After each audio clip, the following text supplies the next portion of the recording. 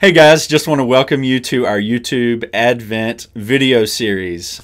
This year, every day in December, we're going to have a different video with a church member reading a scripture for the day and then closing with a prayer. We're going to release the videos at 7 a.m. each and every day beginning December 1st. And uh, you'll be able to subscribe to the channel, and that will deliver the YouTube video to your email box. Or you can uh, come on over to YouTube. We're going to post this on social media as well. So you can follow along and celebrate the season of Advent, which means coming. It means anticipation. We are preparing our hearts to receive the King King Jesus. So I hope you'll participate. I hope you'll get a lot out of it. And let us know in the comments how things are going. Uh, what, what is God teaching you through His Word as we prepare for Christmas?